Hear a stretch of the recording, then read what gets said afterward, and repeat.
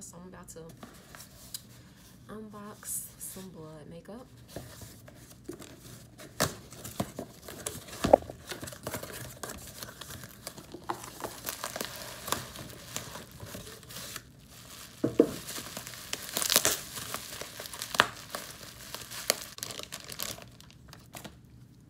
both of these are the same so this is the Nye thick blood this is the 16 ounce jar. I ordered this from Chicago Costume with shipping and everything. The total came out to $108 and some change. And it's thick. We go through a ton of these for the actors makeup on their face, on their hands, arms, and it's been working pretty well. We're also started, we've also started using this in our props department.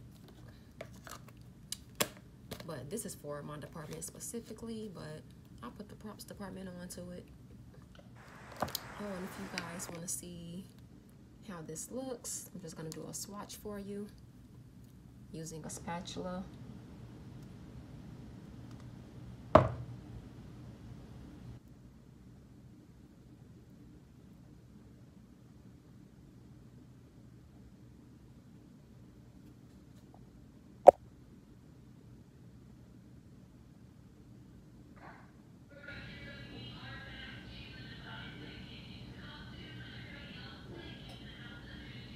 And there you have it.